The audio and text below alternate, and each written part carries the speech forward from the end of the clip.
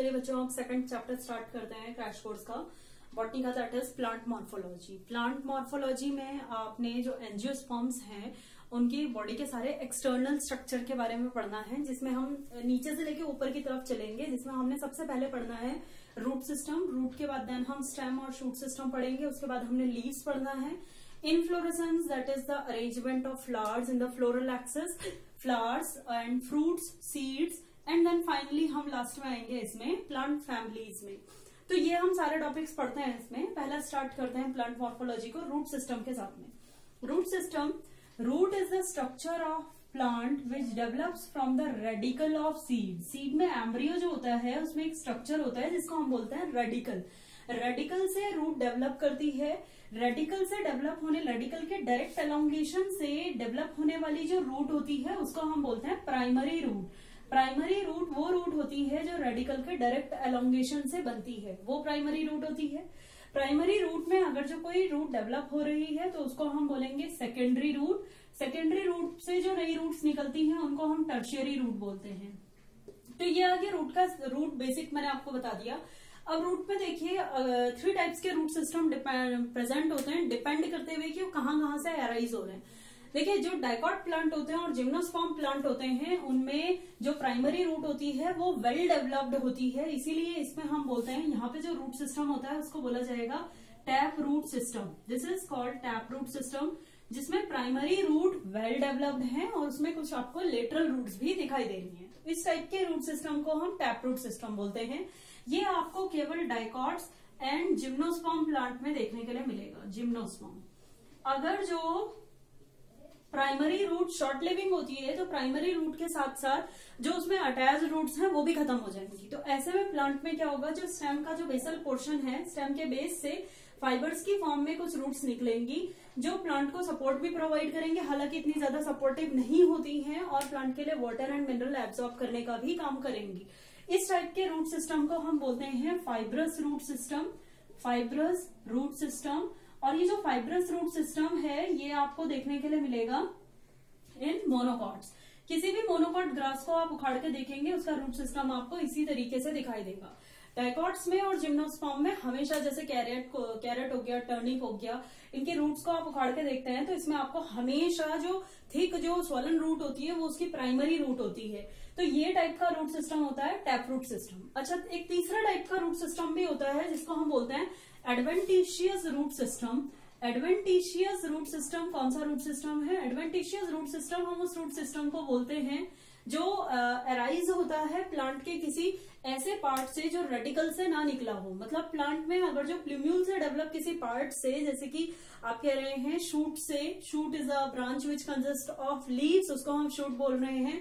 और स्टेम से अगर जो किसी लीव से रूट अराइज हो रही है तो हम बोलेंगे कि ये टाइप का रूट सिस्टम हो गया एडवेंटिशियस रूट सिस्टम जैसे कि आपके एनसीआरटी में एडवेंटिशियस रूट सिस्टम जहाँ पे दे रखा है स्टार्टिंग में जो रूट सिस्टम के बारे में बता रखा है, वहाँ पे एक एग्ज़ाम्पल दे रखा है मॉन्स्टेरा मॉन्स्टेरा एक प्लांट होता है जिसमें जो लीव्स हैं, उनके पास से, उनके बगल में से जो ब्रांच है, वहाँ से लंबी लंबी फिलामेंटस रूट्स निकलती हैं.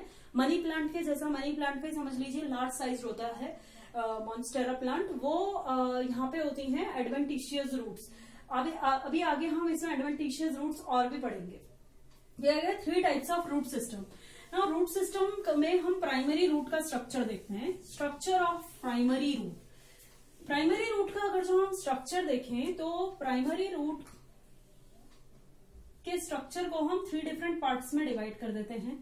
सबसे पहले इसमें सबसे टिप पे जो स्ट्रक्चर प्रेजेंट होता है, उसको हम बोलते हैं root cap root cap root के टिप पे प्राइमरी रूट के टिप पे प्रेजेंट होता है. ये इसके सेल्स जो होते हैं उनमें बहुत ज़्यादा गोल्जी बॉडीज प्रेजेंट होती हैं और ये गोल्जी बॉडीज प्लांट में जो रूट है उसके टिप को damage from the soil particles बचाने का काम कर रही है। क्योंकि गोल्जी बॉडीज गोल्जी बॉडीज का आपको मालूम है सिक्रेटरी फ़ंक्शन होता है।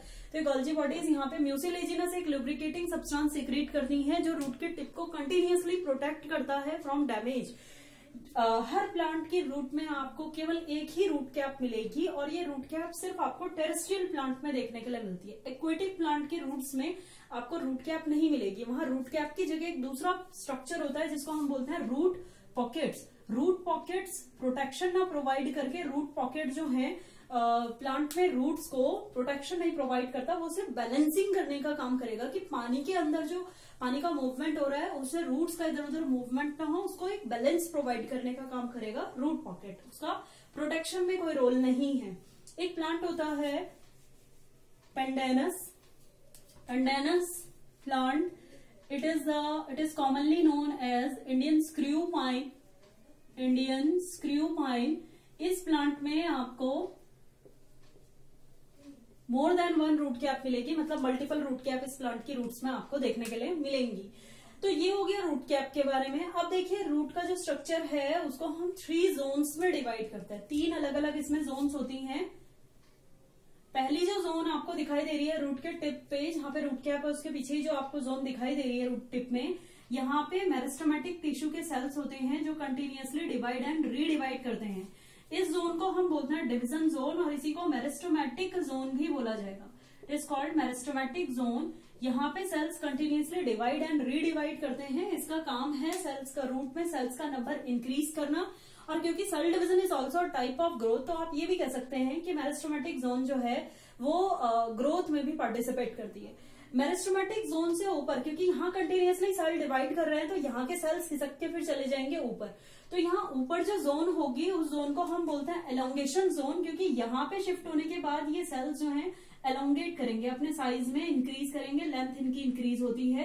This zone is known as elongation zone इस जोन के सेल्स अपनी लेंथ इंक्रीज करते हैं और लेंथ इंक्रीज करने के कारण अगर जो आपसे पूछा जाए कि which zone is responsible for increasing the length of root तब आप कहेंगे elongation zone is responsible for increasing the length of root elongation zone में भी क्योंकि कंटिन्यूसली यहाँ डिवीज़न हो रहा है तो यहाँ से सेल्स इधर आया। इसका मतलब यहाँ कंटिन्यूसली सेल्स का एडिशन हो रहा है तो यहाँ से निकल के सेल फिर इसे ऊपर वाली एक जोन में शिफ्ट हो जाएँगे। इस जोन में सेल्स आके परमानेंट हो जाते हैं और आप ये कह सकते हैं डिफ्रेंशिएट हो जाएँगे। तो इस जोन को हम बोलेंगे मैच्योरेशन जोन यहाँ पे आके सेल्स में डिफ्रेंशिएशन परफॉर्म होता है। सेल अपना साइज़ एनलार्ज कर जाएँगे। वो डिपेंड करते हुए कि कौन सा फ़ंक्शन उनको परफॉर्म करना है। वो उतना depending upon the function perform ये अलग अलग टाइप के टिश्यू में कन्वर्ट हो जाएँगे। जैसे कि जाइलम फ्लोयम या इसके अलावा आप कह सकते हैं पेरन कायमा कॉलन कायमा स्क्लरन कायमा अलग अलग टाइप के टिश्यू के सेल्स में डिवाइड हो जाएँगे कन्वर्ट हो जाएँगे मैच्यूरेशन जोन में। नो मैच्यूरेशन जोन में जो एपिडर्मिस है, इस एपिडर्मिस लाइनिंग में आपको यूनिसेल्युलर एलिवेशन मिलेंगी। एक्रोपिटली जो यहाँ पे डेवलप होती हैं, इन यूनिसेल्युलर एलिवेशन को आप बोलते हैं रूट हेयर रूट हेयर्स का फ़ंक्शन होता है, ये कंटिन्यूसली इस रूट के लिए वाटर एंड मिनरल एब्जॉर्प्शन का काम करेगी। तो वाटर एब्जॉर्प्शन जो है, वो रूट हेयर करेंगे एंड मिनरल एब्जॉर्प्शन भी रूट हेयर करते हैं। तो ये हो गया रूट का स्ट्रक्चर अब देखिए रूट के स्ट्रक्चर में आपको मैंने क्या क्या बताया? Root cap protective layer absent in hydrophytes में एबसेंट होती है। वहाँ पे इसको रिप्लेस कर देती है रूट पॉकेट जो सिर्फ़ बैलेंसिंग प्रोवाइड करेगी। रूट कैप के ऊपर आ जाएगी मेरिस्टोमेटिक जोन जहाँ पे cells continuously divide and redivide कर रहे हैं। नंबर ऑफ़ सेल्स यहाँ पे इंक्रीज होता है। मेरिस्टोमेटिक जोन के ऊपर जो अगली जोन है, वो है एलोंगेशन जोन इस जोन का फ़ंक्शन है कि लेंथ ऑफ़ रूट इंक्रीज करेगी क्योंकि यहाँ पे सेल्स आके अपनी लेंथ एलोंगेट करेंगे. एलोंगेशन जोन से जो ऊपर वाली जोन है, ये है मैच्योरेशन जोन यहाँ पे आके सेल्स जो है मैच्योर हो जाएँगे डिफ्रेंशिएट करेंगे. इसी में मैंने आपको बताया एपिडर्मिस की यूनिसेल्युलर हेयर लाइक एलिवेशन को हम रूट हेयर बोलते हैं वाटर एंड मिनरल एब्जॉर्ब करने का काम करेगा. तो ये आ गया रूट का स्ट्रक्चर अब देखिए रूट जो है मेन फ़ंक्शन क्या है रूट का? मेन फ़ंक्शन है रूट का वाटर एंड मिनरल का एब्जॉर्प्शन करना। इसके अलावा प्लांट को एक स्टेगनेंट और एक स्टैंडिंग फ्रेमवर्क प्रोवाइड करना भी इसका काम है। लेकिन ये अलग अलग फ़ंक्शंस को परफॉर्म करने के लिए कई बार रूट जो है, वो मॉडिफाई भी हो जाती है। तो मॉडिफिकेशन दोनों तरह की रूट्स में हमें देखने के लिए मिलता है। हमें टैप रूट में भी मॉडिफिकेशन देखने के लिए मिलेगा और हमें एडवेंटिशियस रूट्स में भी मॉडिफिकेशन देखने के लिए मिलेगा। जैसे टैप रूट में अगर जो हम मॉडिफिकेशन की बात करें तो टैप रूट मॉडिफाई हो सकती है for food storage food storage के लिए टैप रूट मॉडिफाई हो सकती है. इस टैप रूट का देख लेते हैं पहले. आपके एनसीआरटी में दो तीन एग्ज़ाम्पल दे रखे हैं फ़ूड स्टोरेज के लिए टैप रूट के मॉडिफिकेशन के.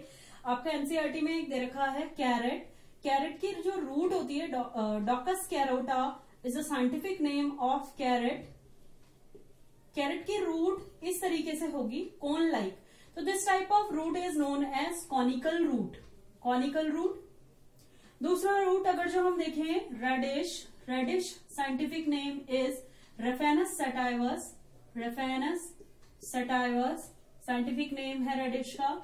इसमें अगर जो हम टैपरूट का मॉडिफिकेशन देखें तो यहाँ पे टैपरूट जो होती है, वो फ्यूजी फॉर्म होती है. फ्यूजी फॉर्म का मतलब इसके टिप्स फ्यूज होंगे और इसका जो मिडिल पोर्शन होगा, वो स्वॉलन होगा. ये टिप वाला पोर्शन और ये एंड वाला पोर्शन जितने भी दोनों एंड्स हैं, वो फ्यूज होंगे और ये जो बीच वाला पोर्शन है, ये स्वॉलन है। इस टाइप की रूट को हम बोलते हैं फ्यूजीफॉर्म रूट फ्यूजीफॉर्म रूट ना इसके बाद जो नेक्स्ट टाइप की रूट है, वो आ जाएगी आपकी टर्निप में। Turnip scientific name is Brassica rapa Brassica rapa scientific name है इसका।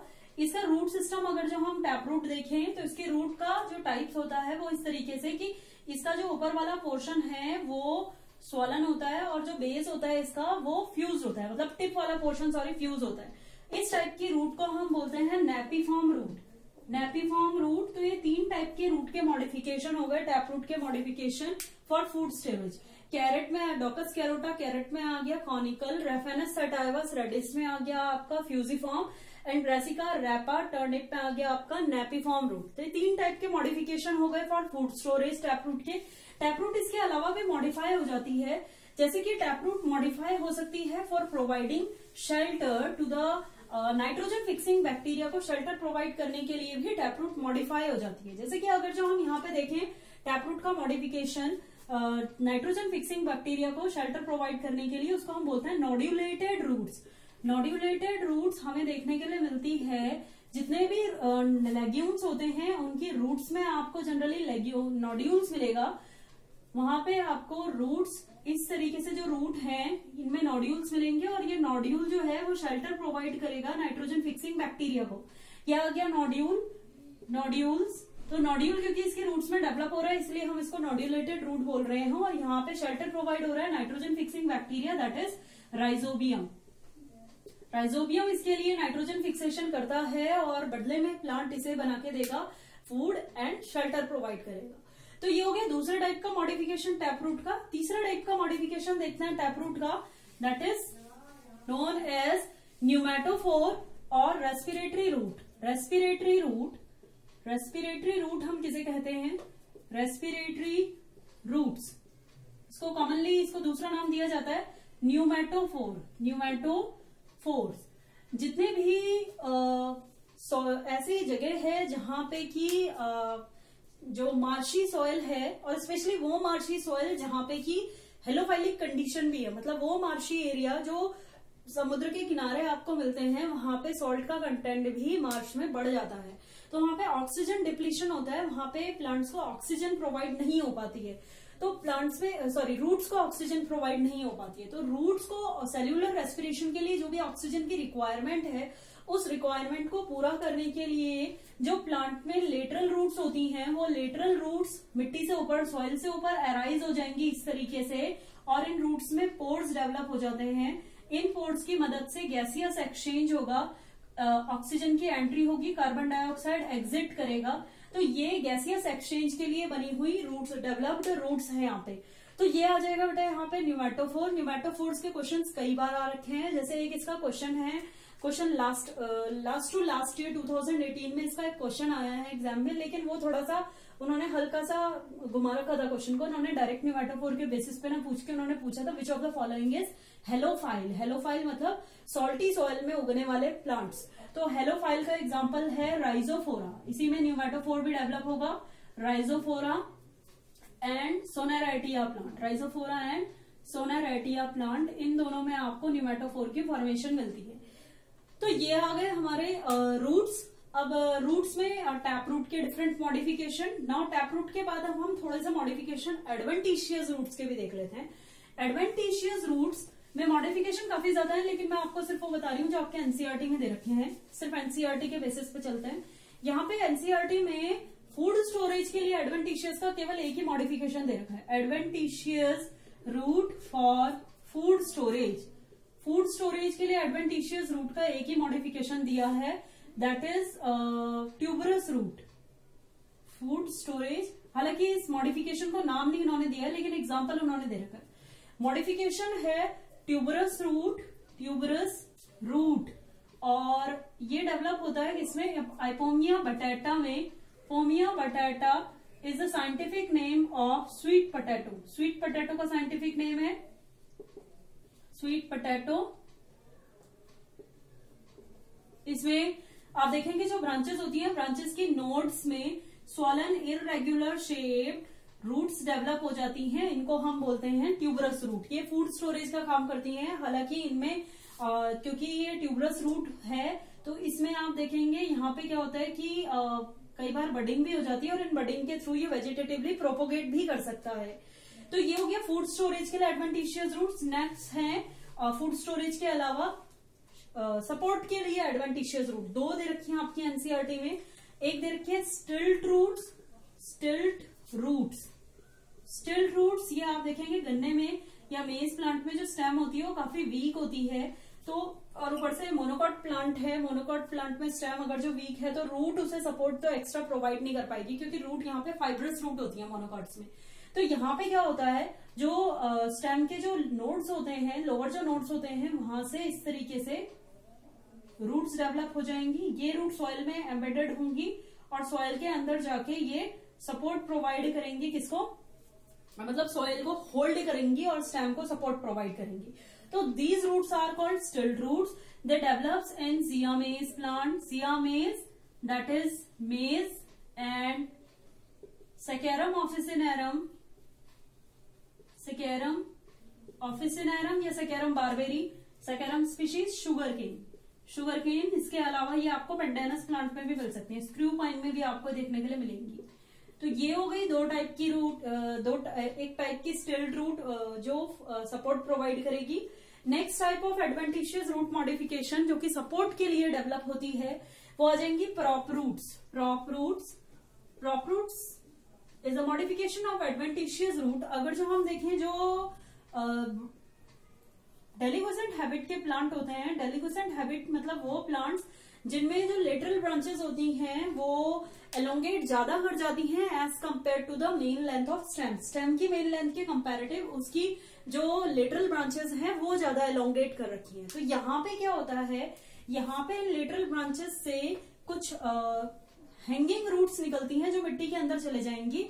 इसको सपोर्ट प्रोवाइड करने के लिए ब्रांचेस को भी सपोर्ट प्रोवाइड करेंगे और इनडायरेक्टली हम कह सकते हैं स्टेम को भी सपोर्ट प्रोवाइड करेंगे। इस टाइप की हैंगिंग रूट्स को हम बोलते हैं प्रॉप रूट और इसका एग्ज़ाम्पल है banyan and peepal plant Ficus religiosa Ficus religiosa and Ficus benghalensis Ficus benghalensis तो ये हो गए आपके prop roots prop root is the modification of adventitious root which develop from the hanging root developing from the lateral branches to provide support to the stem और lateral branch still root are the uh, roots which fibrous like roots which develop from the uh, lower nodes of stem.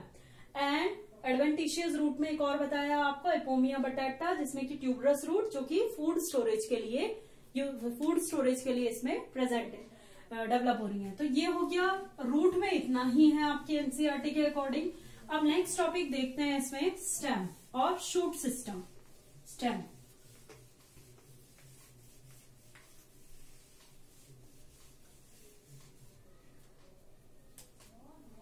stem stem और shoot system ये stem जो होती है plant के जो seed uh, में एक स्ट्रक्चर होता है जिसको हम बोलते हैं प्ल्यूम्यूल स्टेम में जो प्ल्यूम्यूल होता है उससे स्टेम की डेवलपमेंट होता है स्टेम की फॉर्मेशन होती है.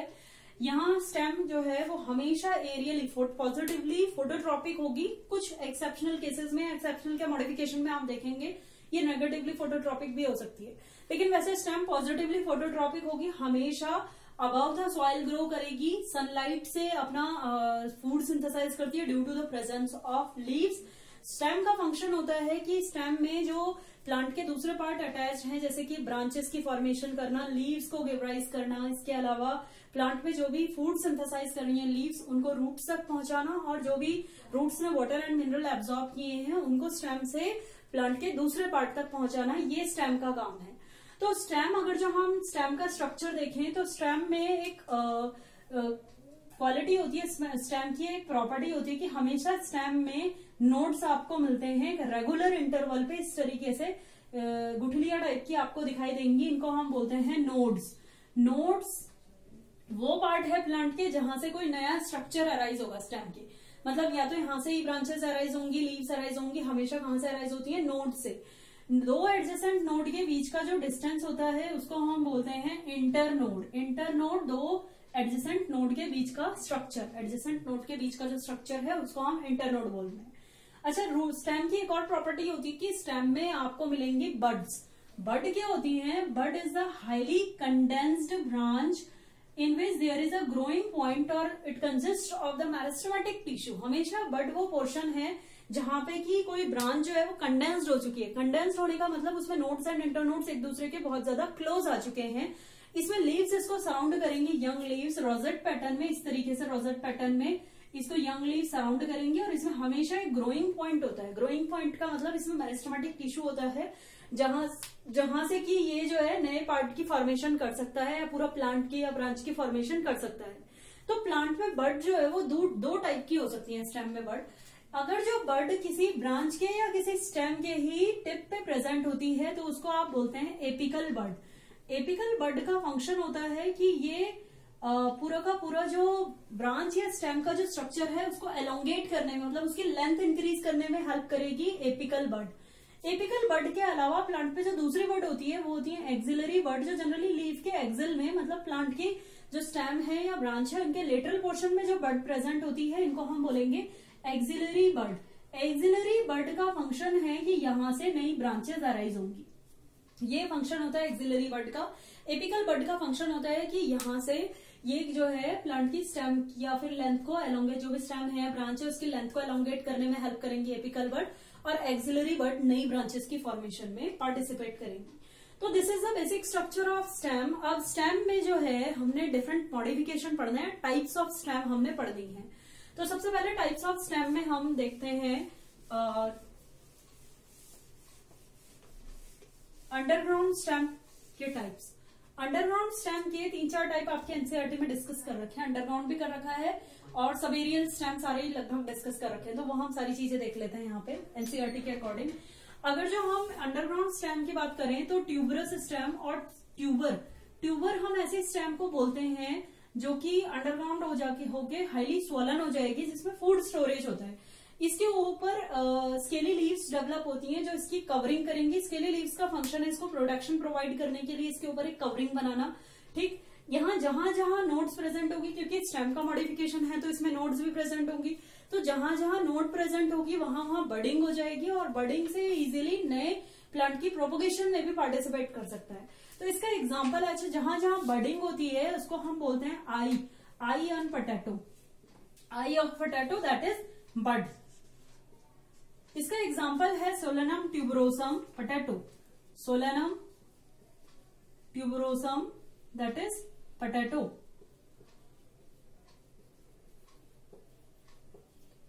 इसके बाद नेक्स्ट स्ट्रक्चर देखते हैं. Next one is rhizome rhizome is also underground stem which is highly contractile contractile मतलब highly highly condensed underground stem highly condensed branch है। इसमें ब्रांचिंग आपको देखने के लिए मिलेगी। कंप्रेस हो चुकी है स्टेम कंप्रेस अगेन वही इसका मतलब कि इसमें जो नोट्स एंड इंटर नोट्स है एक दूसरे के काफ़ी क्लोज आ चुके हैं।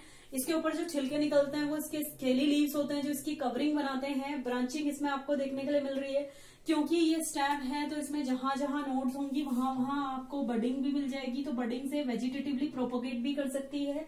और इसमें आपको कॉन्ट्रेक्टाइल रूट्स भी देखने के लिए मिलेंगी। तो कॉन्ट्रेक्टाइल रूट्स का फ़ंक्शन होता है कि ये सॉइल के अंदर इसको हॉरिजॉन्टल अलाइनमेंट करेगी। मतलब अगर जो आप इसे उखाड़ेंगे तो सॉइल के अंदर ये आपको इस तरीके से मिलेगा हॉरिजॉन्टली अलाइन मिलेगा। तो राइजोम का एग्ज़ाम्पल है जिंजेबर ऑफिसिनेल जिंजेबर ऑफिसिनेल मतलब जिंजर, और इसके अलावा आ जाएगा आपका करक्यूमा एमेडा और Curcuma that is turmeric turmeric and ginger ये दोनों आ जाएँगे आपके इसमें। अब देखिए नेक्स्ट हम देखते हैं corm corm is a solid underground stem solid underground stem होती है, जो कि अनब्रांच होगी, इसमें ब्रांचिंग आपके लिए आपको देखने के लिए नहीं मिलेगी। इसमें आपको जो है आ, काफ़ी मोटी स्केली लीव्स इसके ऊपर कवरिंग बनाती हुई मिलेंगी काफ़ी थिक स्केली लीव्स कवरिंग इसकी बनाती हैं। यहाँ पे आपको क्योंकि नोड्स एंड इंटर नोड्स भी इसमें प्रेजेंट होंगे तो इसमें बडिंग भी हो जाएगी। और इसमें एक और चीज़ होती है कि यहाँ पे कॉन्ट्रेक्टाइल रूट्स भी आपको मिलेंगी। तो कॉन्ट्रेक्टाइल रूट्स का फ़ंक्शन होता है कि ये सॉइल के अंदर कॉर्म को वर्टिकल अलाइनमेंट प्रोवाइड करेंगी।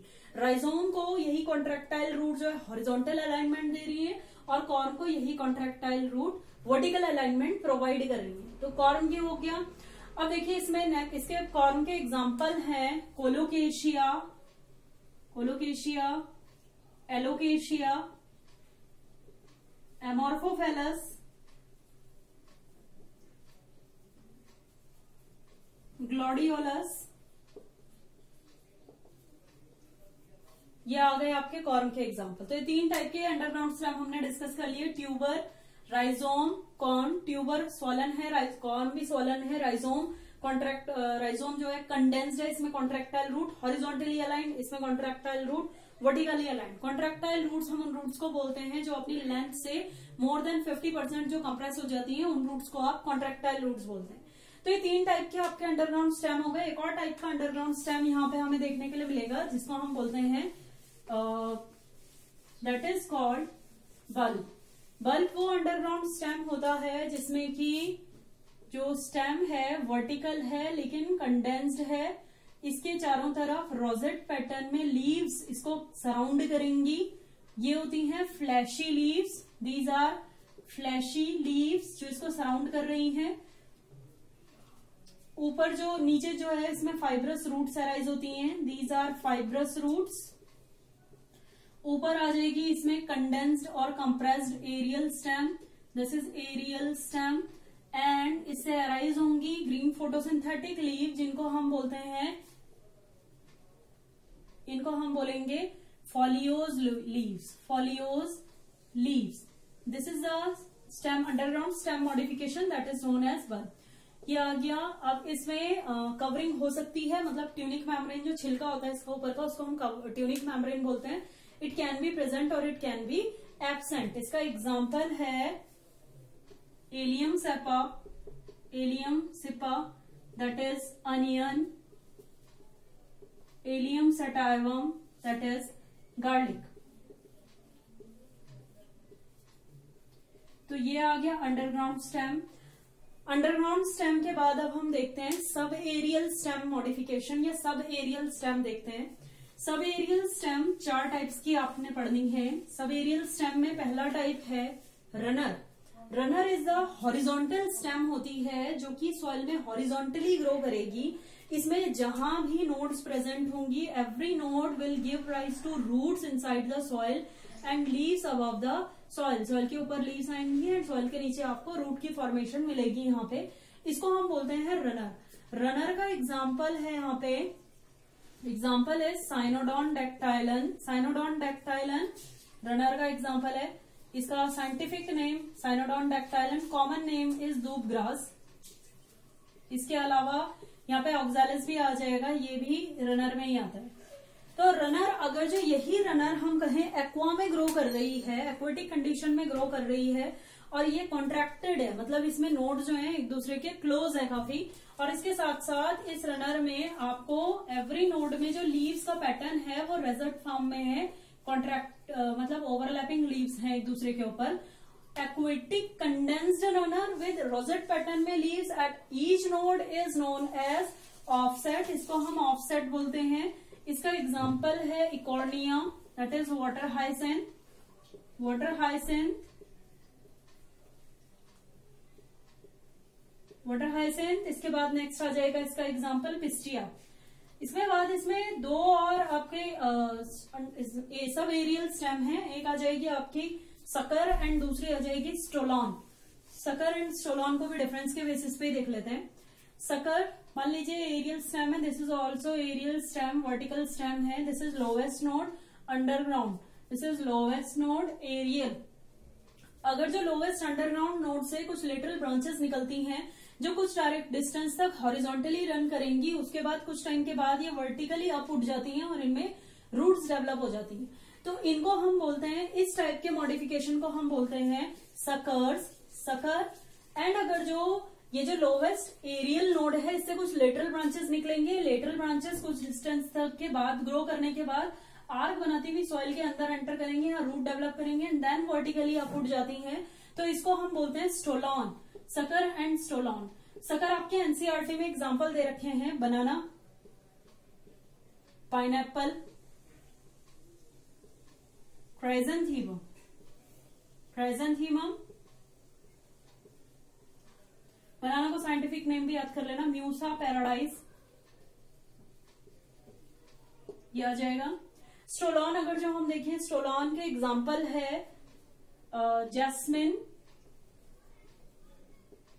एंड इसके अलावा आ जाएगा यहाँ पे mint that is Mentha scientific name of mint and Jasminum scientific name of jasmine ये आपके हो गए सब एरियल एंड अंडरग्राउंड स्टेम के टाइप्स कंप्लीट अब नेक्स्ट क्लास में कुछ और टाइप के स्टेम हैं, वो भी देखेंगे और लीव्स वाला टॉपिक हम पढ़ेंगे. Okay okay?